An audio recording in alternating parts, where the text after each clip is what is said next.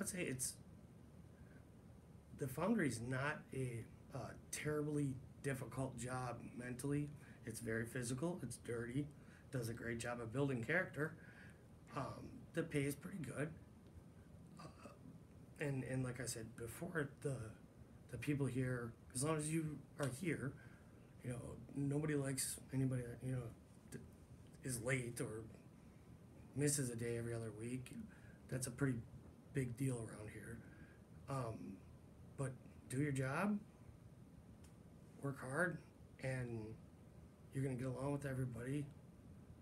Everybody will have your back. It's it's pretty ni- tight knit group of people, and that's kind like what I was with the family ownership going down through. That's personally what I love about this place.